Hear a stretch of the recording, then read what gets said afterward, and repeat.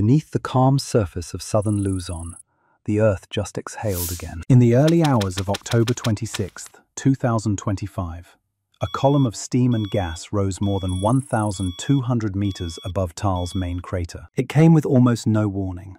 In a volcano surrounded by an estimated population of 20 million people living within 50 kilometers. Cities like Tagaytay, Batangas, and even Metro Manila are all close enough to feel the tremors or breathe the ash when Taal stirs. The eruption was short, sharp, and over before most residents even looked up. Yet, the Philippine Institute of Volcanology and Seismology kept the alert level at its lowest, level 1.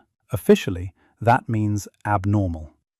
Unofficially, it means the ground is restless. What makes this eruption unnerving isn't its size, it's its silence. So, what does this quiet burst really mean? Could this be the beginning of another cycle, one that starts with a puff and ends in a plume that blots out the sun? Taal is deceptive by design. It doesn't tower like Fuji or Pinatubo. Instead, it sits low, hidden inside a lake, Taal Lake, about 50 kilometers south of Manila in Batangas province. From above, it looks peaceful, like an island floating on glass. But that island is the tip of a volcano, and the lake around it is the flooded mouth of a massive ancient crater. On October 25th, at around 5.30 pm, PHIVOLCS instruments recorded a minor phreatomagmatic event, a burst caused by hot magma meeting cold water.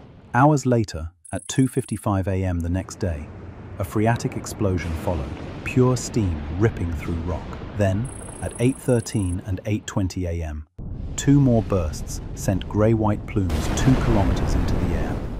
For locals, it was a reminder of 2020, the last major eruption that blanketed towns in ash and forced more than 300,000 people to flee. Since then, Volcano Island has remained off limits, its trails abandoned and its crater steaming.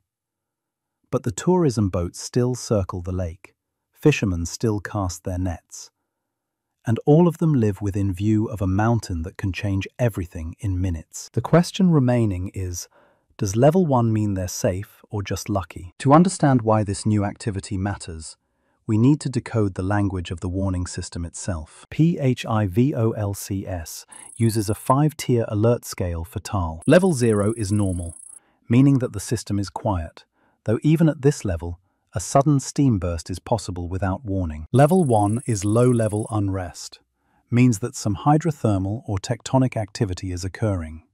Steam-driven or gas-driven explosions can happen suddenly, but there's no sign of new magma rising. Level 2 is increasing unrest. This means possible magma intrusion and higher eruption potential. Level 3 and 4 is magmatic unrest, and hazardous eruption imminent. Level 5 is hazardous eruption in progress.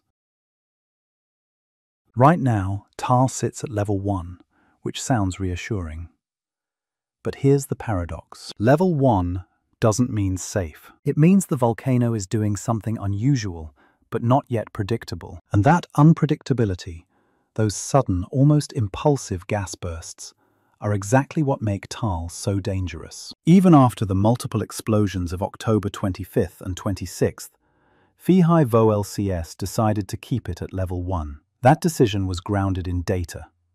No sustained tremor patterns, no strong deformation, no magma-driven signals. But to anyone living around the lake, that nuance can be terrifying.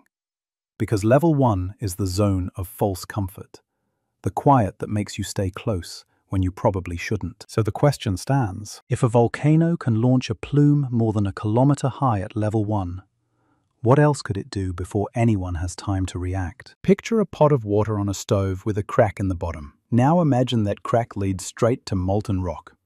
That's Taal. The island sits above a shallow chamber of magma sealed by water and clay. As heat seeps upward, water trapped underground flashes into steam. If that steam has nowhere to go, it explodes. A phreatic eruption is exactly that, steam-driven. No fresh magma. A phreatomagmatic eruption happens when magma actually touches water, fragmenting into ash and gas. And a magmatic eruption means the magma itself rises, gas expands and all the power locked inside is released. The danger is that at Taal, these stages can happen within hours of each other. The lake surrounding the volcano acts like a loaded gun, water above, heat below. It doesn't need weeks of warning, sometimes not even minutes. Even when the crater seems quiet, chemical reactions continue beneath the surface. Every bubble of gas, every rumble deep underground, is the system adjusting or priming itself for the next break. The 2025 unrest unfolded like a stuttering heartbeat. On October 25th, around 5:30 p.m., a plume rose 1,200 meters from the main crater, the first phreatomagmatic burst. Overnight, another smaller explosion at 2.55 am marked a shift in pressure. Then two more bursts mid-morning on the 26th produced plumes reaching up to 2,100 meters. Instruments detected sulfur dioxide emissions averaging about thousands of tons per day, confirming magma degassing beneath the surface. Yet, the seismic network stayed relatively calm. Few volcanic earthquakes, no sustained tremor.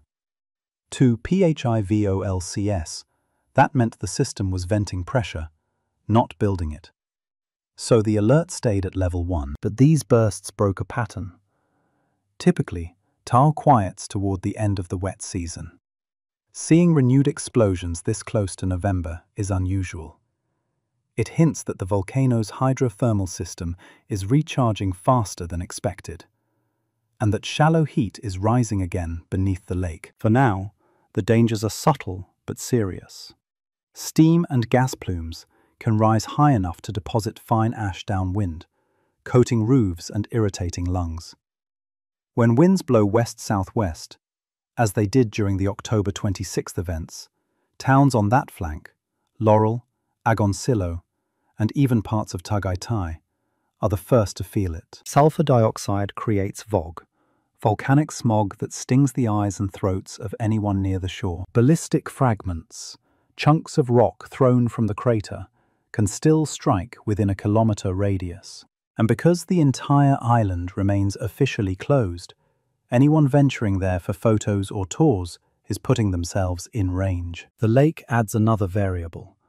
If a stronger blast hits, the water can surge inland, creating mini tsunamis around the rim. Even a small explosion can ripple outward fast enough to capsize boats. So the advice is simple. Monitor bulletins, stay off the island, keep masks and eye protection handy, and treat every gas smell or ash drift as a cue to move indoors.